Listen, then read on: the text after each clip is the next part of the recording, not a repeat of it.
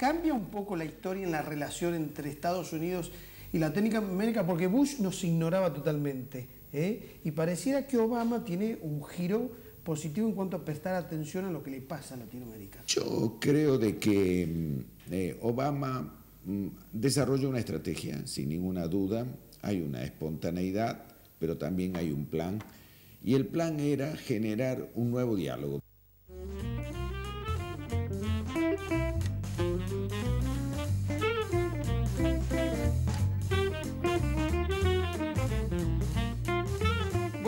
El jueves pasado 28, en el Hilton, en Puerto Madero, en Buenos Aires, se llevó a cabo el quinto seminario sobre campañas políticas del caso Obama. Ahí veíamos el programa, la foto que nos hemos sacado los únicos dos periodistas de Tucumán que estuvimos en el Hilton, Cristian Argañarás, de Diario El Siglo, y quien les habla, nos sacamos una foto con Frank Greer, que es el principal asesor de Obama, que vino a contarnos el éxito de Obama, algunos de los secretos, que, les quería relatar porque eh, tiene que ver con lo que le vamos a preguntar a los tres candidatos a senadores que eh, hoy esta noche nos van a visitar.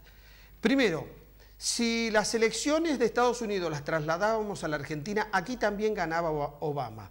La, mayor cantidad de los argentinos apoyaba a Obama y, y, una minoría solo apoyaba a McCain, por ejemplo. Otra de las cosas que se dijeron en este seminario, la idea eh, que teníamos de Estados Unidos, la percepción que teníamos de Estados Unidos cambió diametralmente con el triunfo de Obama.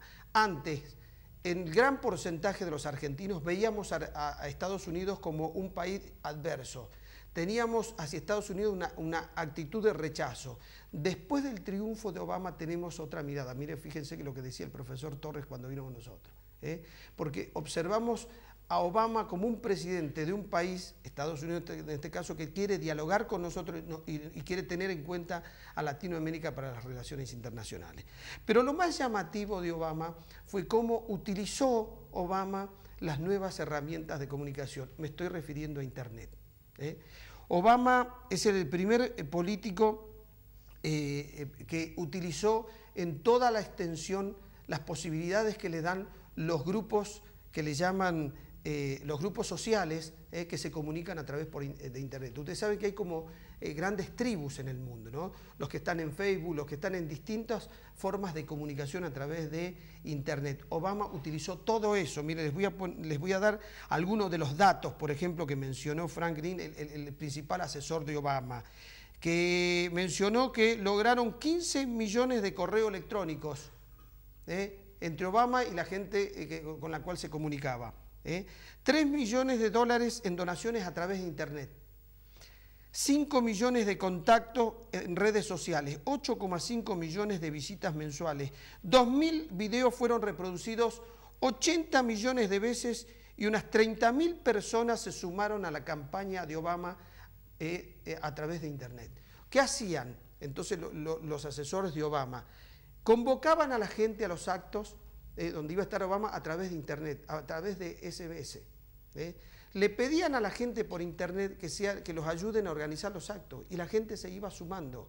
O sea, Obama se dio cuenta que había redes sociales, que hay gente que forma comunidades a través de Internet. Entonces lo fue y los fue a buscar allí donde estaban. No es que creó un sitio y les dijo vengan a comunicarse conmigo, se comunicó con ellos a través de las formas que ya están establecidas. Es un caso líder. ¿Eh? en el mundo. De aquí en adelante las campañas ya no van a ser iguales. Todos los políticos van a tener que utilizar las herramientas eh, que les permite la nueva tecnología. Es un caso extraordinario. dicen que había 3,5 millones de, nuevos, de nuevas comunicaciones con las páginas de Obama, que a cualquiera que le sacaba una foto a Obama o lo filmaba en algún acto, la subía inmediatamente. ¿eh? Había fotos de Obama, de, de su familia en Facebook, extraordinario cómo han utilizado la tecnología. Y así fue que Obama sumó a muchos jóvenes, eh, porque ustedes saben que en Estados Unidos votó el 75% contra el 50-47% que, eh, que votaban en elecciones anteriores. Obama hizo que la cantidad de gente que vaya a votar en Estados Unidos, el voto es voluntario, no es una obligación eh, como la Argentina, hizo que el 75% de la gente vaya a votar. Sumó a jóvenes que inicialmente no estaban interesados, con los que se comunicaba por internet, les contestaba los mensajes había una comunicación fluida, sumó a la comunidad negra, sumó a los latinos, nos mostraron ahí en el Hilton los cortos publicitarios que Obama grabó para la comunidad latina en castellano. Fíjense hasta dónde llegó la estrategia.